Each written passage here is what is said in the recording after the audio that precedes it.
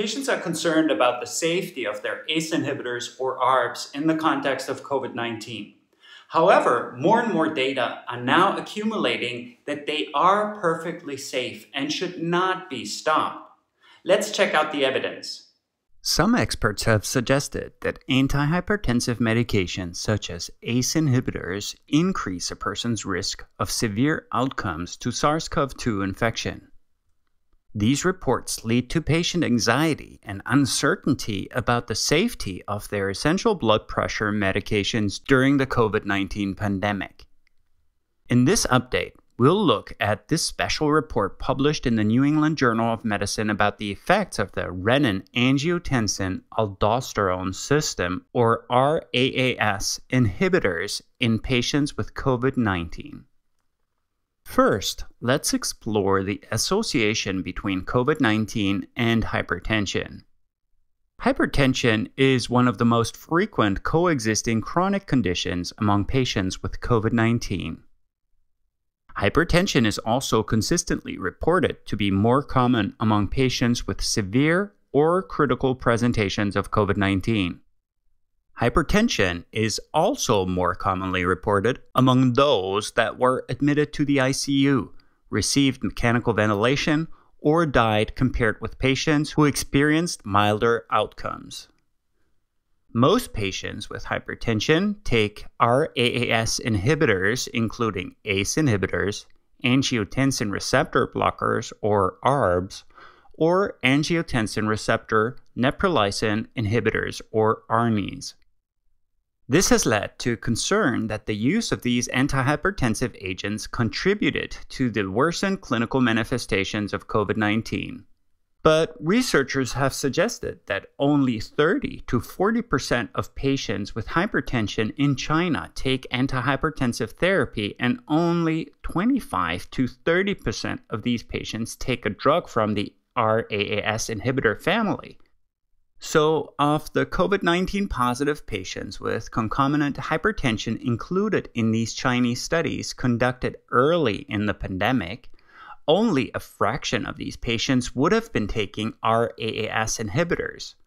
The small sample size in these studies made it challenging to associate RAAS inhibitors to worse clinical outcomes of COVID 19 infections. This more recent study, published in JAMA Cardiology, followed 1,178 patients with COVID 19, while 115 patients were on ACE inhibitors or ARBs. Their results demonstrate that ACE inhibitors and ARBs were not associated with worse outcomes or increased mortality. Another study published recently in Circulation Research actually showed a lower risk of all cause mortality among hospitalized patients with COVID 19 who were taking ACE inhibitors or ARBs for coexisting hypertension. So, where does the concern about these drugs in particular come from? In the RAAS pathway, angiotensin 1 is converted to angiotensin 2 by angiotensin converting enzyme or ACE. Angiotensin 2 is degraded by the membrane bound ACE2 into angiotensin 1 7. ACE inhibitors block the effect of ACE and reduce the conversion of angiotensin 1 to angiotensin 2. SARS CoV 2 has been shown to enter cells by binding to ACE2. Some experts are concerned that anything that alters the expression or function of ACE2, like ACE inhibitors, could promote viral entry into the cell. So, what's the evidence? It's important to note first that although both ACE2 and ACE bind to angiotensin 2, they act on different binding sites. ACE inhibitors do not directly affect the activity of ACE2. With lower angiotensin 2 levels in people taking ACE inhibitors, it has been hypothesized that ACE2 might become overexpressed on the cell surface as it tries to bind to any circulating angiotensin 2 and convert it to angiotensin 1,7. Researchers measured angiotensin 1,7 levels in people taking ACE inhibitors to detect increased ACE2 expression and function. These researchers did not find evidence that administration of ACE inhibitors increased the expression or function of ACE2. Studies showing the effects of RAAS inhibitors on lung cell specific expression of ACE2 are lacking. But even if RAAS inhibitors increased ACE2 levels at the lung cell surface, clinical data is lacking to confirm whether this effect facilitates the entry of SARS CoV 2. There are currently too many knowledge gaps to associate RAAS inhibitor use to changes in ACE2 expression and increased infectivity to SARS CoV 2. Other experts even suggest a possible benefit of RAAS inhibitors. Interestingly, one study showed that exposing mice lung cells to the spike protein of a different SARS virus called SARS CoV, the pathogen of the original SARS, decreased the expression of ACE2 at the cell surface level.